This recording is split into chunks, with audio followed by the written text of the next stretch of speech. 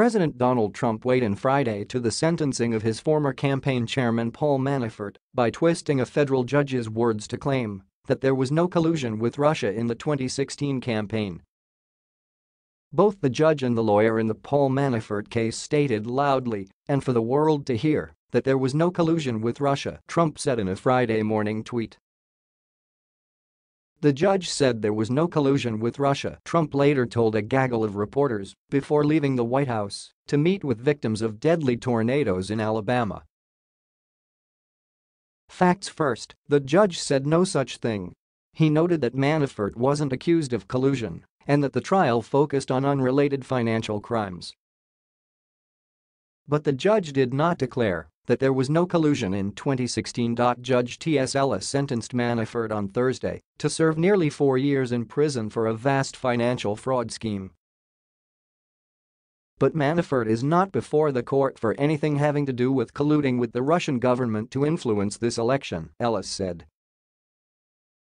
Ellis later repeated that Manafort is not before the court for any allegation that he or anybody at his direction colluded with the Russian government to influence the 2016 presidential election. The judge never said during the three-hour hearing that there had been no collusion between Trump's campaign and Russia. Ellis presided over Manafort's fraud case in the Eastern District of Virginia he has not been involved in Mueller's investigation of potential collusion in 2016. Later with reporters on Friday, Trump correctly said, the judge, for whatever reason, I was very honored by it, also made the statement that this had nothing to do with collusion with Russia. Throughout the trial, Ellis made it apparent that he wanted to separate the whole issue of Russia and collusion from the facts surrounding Manafort's financial crimes. Manafort was convicted in August of eight counts of financial fraud.